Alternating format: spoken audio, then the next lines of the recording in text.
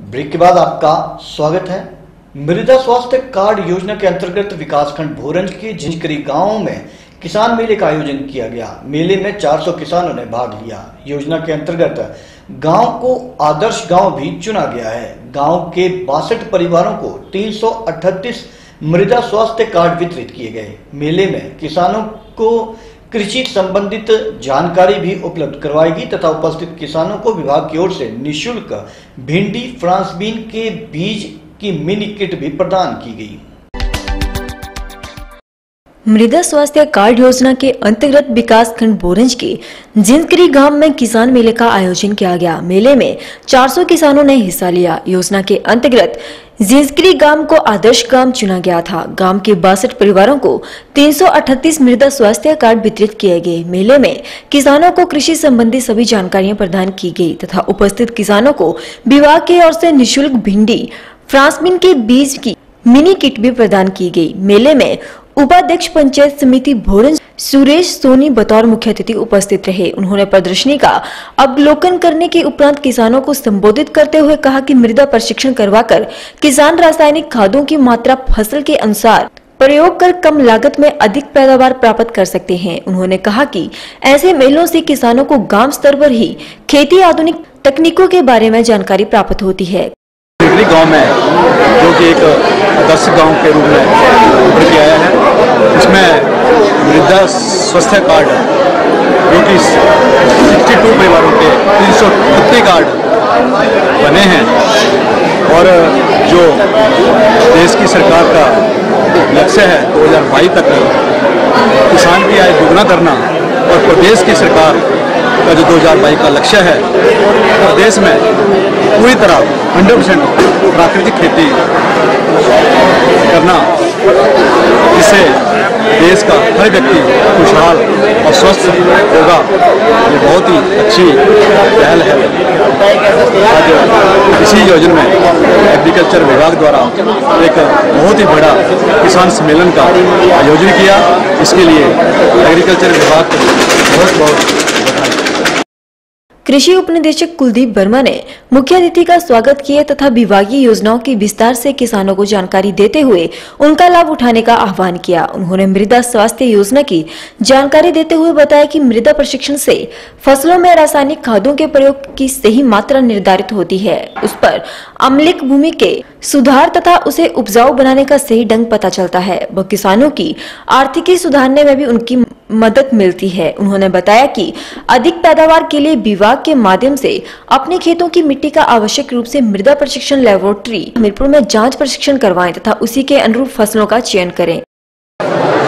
मृदा स्वास्थ्य कार्ड के अंतर्गत झंझकरी गाँव में आज एक किसान मेले का आयोजन किया गया इस गाँव में तीन सौ जो कार्ड हैं, वो वितरित किए गए हैं और स्वास्थ्य का मृदा स्वास्थ्य कार्ड से संबंधित सभी जानकारियाँ जो हैं, वो कृषकों को प्रदान की गई इस अवसर पर वरिष्ठ पशु चिकित्सा अधिकारी के एल शर्मा, विषयवाद अधिकारी नादौड़ सुरेश धीमान ने अपने अपने विभागों से संबंधित जानकारी किसानों को प्रदान की। बोरस ब्लॉक के प्रगतिशील किसान कमल कुमार लखनपाल ने भी किसानों को जैविक खेती के बारे में बताया तथा उन्होंने किसानों को जैविक खेती अपनाने के लिए प्रोत्साहित भी किया।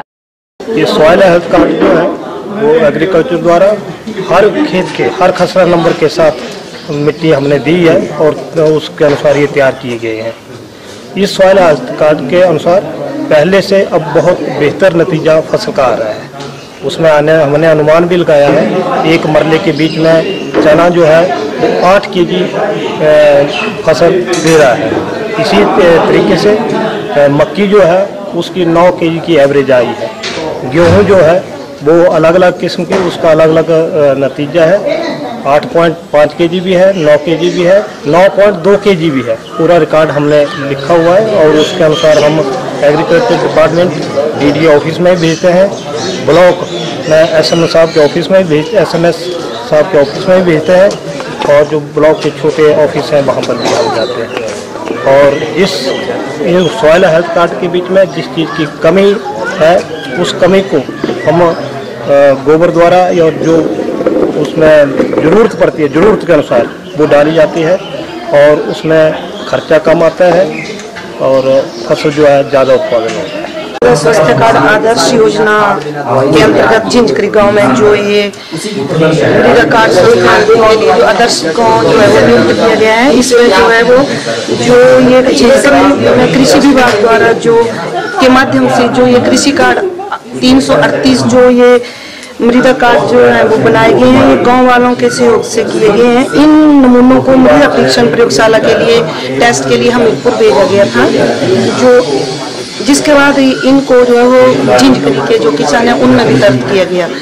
जिसके अकॉर्डिंग जो ये कृषि विभाग से संबंधित कर्मचारी हैं, जिन्होंने कृषि करने के जो तरीके बताए, वो सभी जो झिंझरी झिंझरी ग्रामवासी हैं, वो अच्छी खेती की उपज कर रहे हैं और काफ़ी मेहनत लोग मेहनती लोग हैं। इन्होंने अपनी मेहनत से बहुत जो सब्जियों का उत्पादन किया है वो आज जो यहाँ एग्जीबिशन प्रदर्शनी लगाई हुई है वो इसमें हमें बहुत खुशी हो रही है कि जो झिंझित्री गाँव के जो किसान हैं वो इस इसमें ज़्यादा से ज़्यादा इंटरेस्ट ले रहे हैं। और जो कृषि विभाग द्वारा हमें गार्ड और साइल जो चेकिंग की है मिट्टी उसके द्वारा जो टेस्ट करके जो फार्म मिले हैं, वो हमें मिले हैं और कृषि जो हम उसके द्वारा ही उनके बताए हुए के निर्देश अनुसार ही हम कृषि के बीच में काम कर रहे हैं। अतः उसके बीच में जो है, काफ़ी प्रोग्रेस और उन्नति उसमें हो रही है। जो भी कृषि विभाग द्वारा ने हमें ज्ञान दिया है। ये जो हमारी मिट्टी टेस्ट हुई, विभाग के आदमी हमारे साथ थे, जब हम खेतों से मिट्टी लेके आए, उसके बाद इस मिट्टी को हमीरपुर में जमा कराया गया। उसके बाद हमें सॉइल हेल्थ कार्ड विभाग की तरफ़ से मिले। हम उनके अनुसार ही खेतों में खातें डाल रहे हैं और उसी नियमानुसार खेती बाड़ी कर रहे हैं। इससे हमें काफ़ी विभाग का भी सहयोग रहा और विभाग को गाँव वालों का भी सहयोग रहा। जो सेल्फ द्वारा हमें दिए गए हैं, विभाग द्वारा उनकी मिट्टी हमने से ले जा करके हमीरपुर में इकट्ठी दी थी। उसके बाद उनका टेस्ट हुई और उनको हेल्थ कार्ड दिए हमारे हमारे पास इन्होंने विभाग ने। जिसकी वजह से हम उसी हिसाब से खेती कर रहे हैं और खाते वगैरह डाल रहे हैं और अच्छी उन्नति मिल रही है। और अच्छी प्रोग्रेस से खेती बाड़ी कर रहे हैं और विभाग हमारा पूरा सहयोग कर रहा है और हम विभाग की सेवा कर रहे हैं बराबर की। और अच्छी फ़सलें उत्पन्न हो रही है।